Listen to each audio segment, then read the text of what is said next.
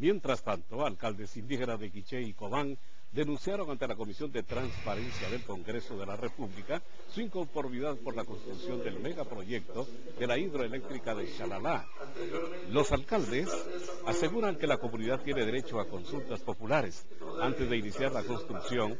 En cuanto al tema, el secretario de Sequeplan, Fernando Carrera, dijo que el proyecto aún se analiza y posteriormente se harán las consultas a la población como lo solicitan los alcaldes indígenas.